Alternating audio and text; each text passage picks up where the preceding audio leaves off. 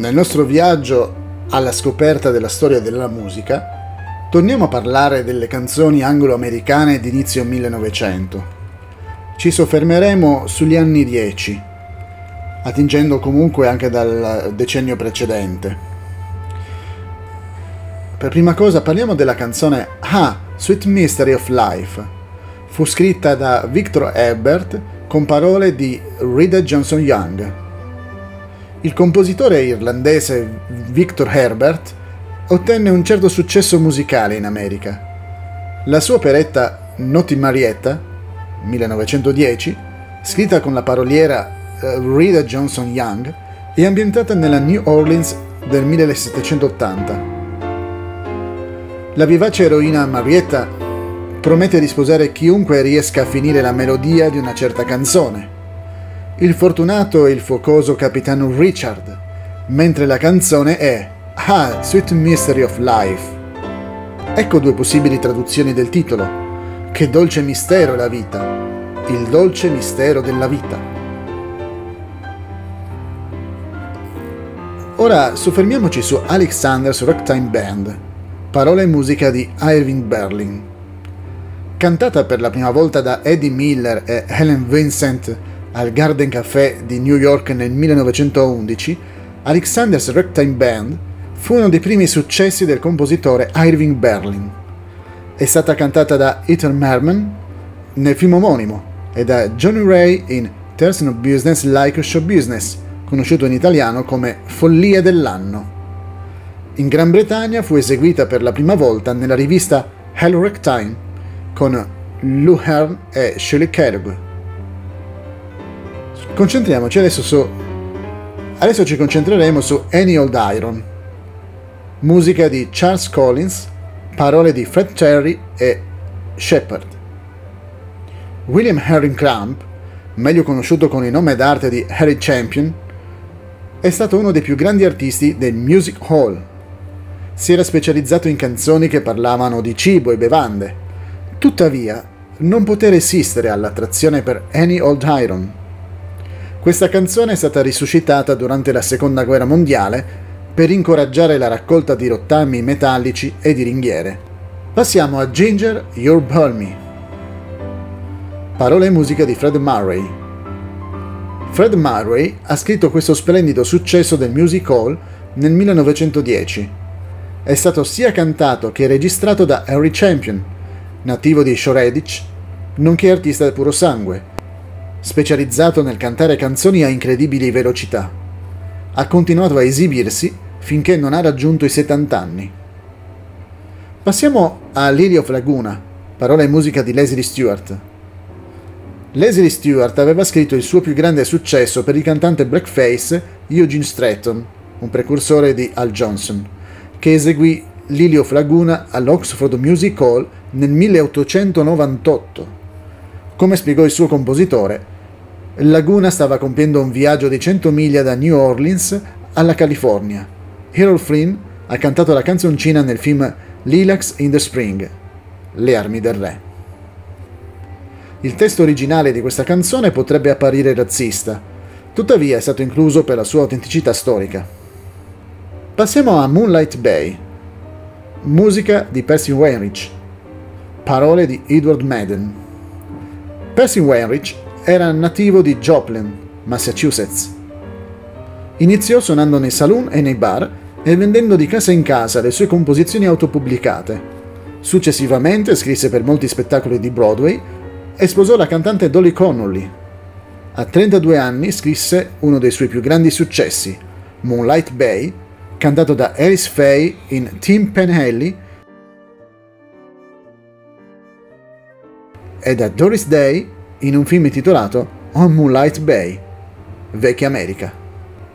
Concentriamoci adesso su Oh, You Beautiful Doll, parola e musica di Seymour Brown e Nat Air.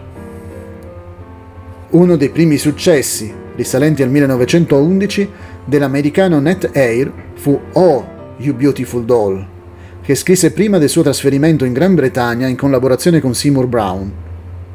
Negli anni 20 diventò la melodia dei Claxon. Negli anni 40 fu parte integrante del film omonimo. Inoltre fu ballata da Fred Astaire e Ginger Rogers nel film biografico The Story of Vernon and Irene Castle, la vita di Vernon e Irene Castle. Spostiamoci su un altro brano, Memphis Blues. Parole e musica di Handy. Il brano originale fu scritto nel 1912. Il testo fu aggiunto l'anno successivo. Memphis Blues è il brano con cui nasce il blues. Infatti, il suo autore, William Christopher Handy, è stato definito il padre del blues. Il brano fu utilizzato durante la campagna politica di un candidato di Memphis, William Cramp. La canzone fu inclusa nei tre film intitolati St. Louis Blues, di cui uno narra la biografia del suo compositore, e in Birth of the Blues. Il testo originale può essere visto come spinto dal punto di vista razziale, tuttavia è stato incluso per la sua autenticità storica. Cambiamo un brano. Don't Dilly Dally on the Way. Parola e musica di Fred Leak e Charles Collins.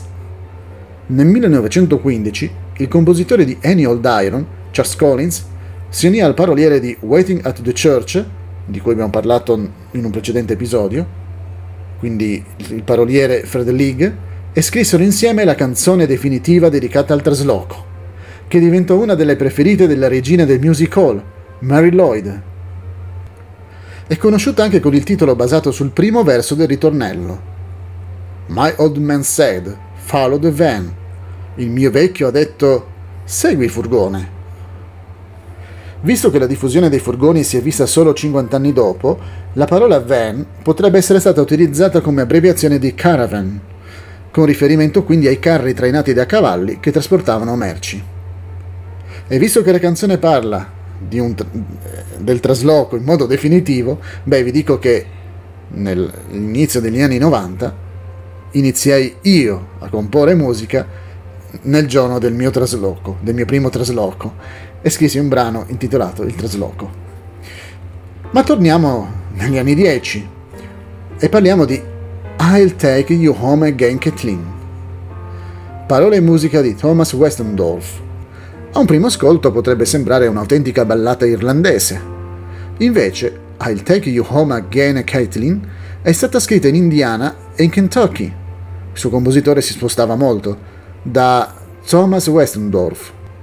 Lui scrisse la canzone per confortare sua moglie perché voleva tornare sulla costa orientale.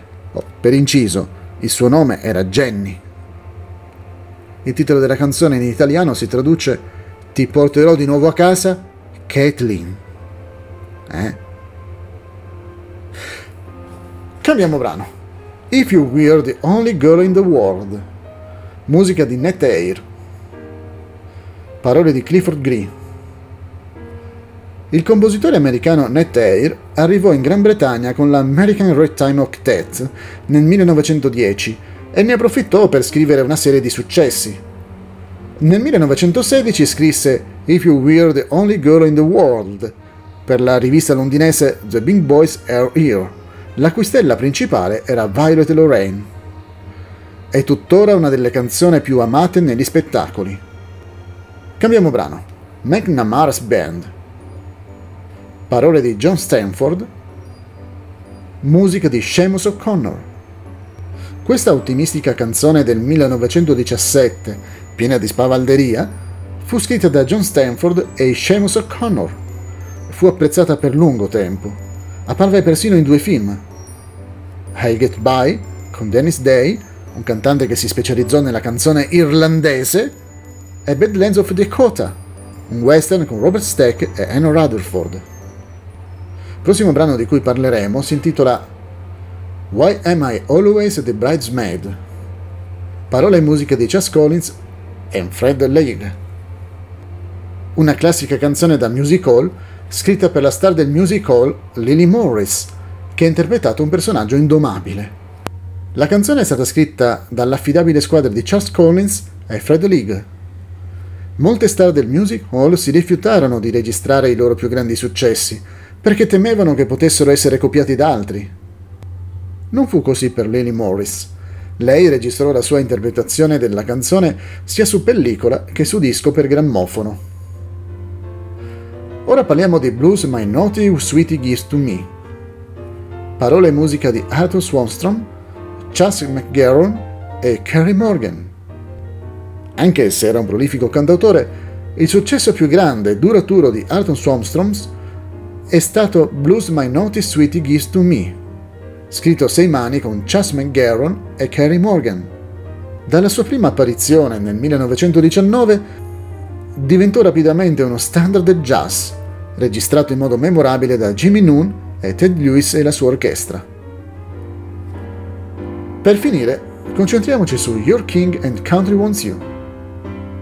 Parole e musica di Paul Rubens. Sfruttando il messaggio di un famoso poster di reclutamento alla guerra, questa canzone era conosciuta anche con un altro titolo, We don't want to lazy you, but we think you out to go.